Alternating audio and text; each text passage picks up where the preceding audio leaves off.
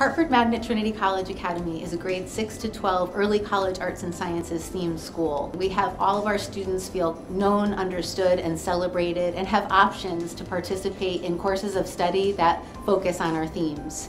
Choice schools give students the option to get together from all different districts.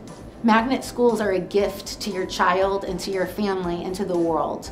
Attending a magnet school gives your child an opportunity that very few students have to attend a school that has a special theme with other students who share their interests, work in a, and learn in a diverse community in innovative ways with partnerships that you just can't get in a school in your own home community.